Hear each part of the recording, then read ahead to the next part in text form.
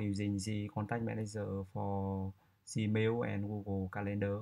You can use this add-on for manage Google Contact in Gmail and Google Calendar. You can uh, insert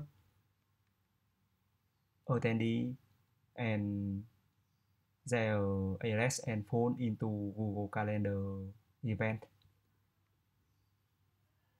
show for Gmail, you uh, click on Contact Manager icon and you click on Add Contact. And you enter contact information such as email, first name, last name, and you can enter the other information such as prefix, birthday,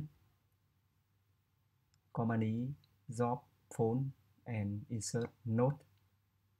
After inserting all information, you click on Add button. Yeah, contact is created successfully in Google Contact. You can click on Search Contact button and enter search criteria such as email, name, or phone and click search button. You can edit contact information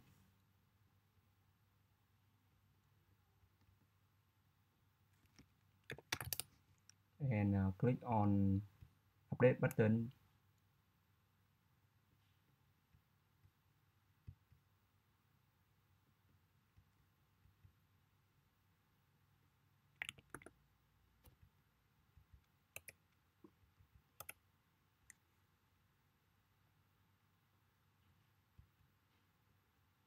you can see the node formation is created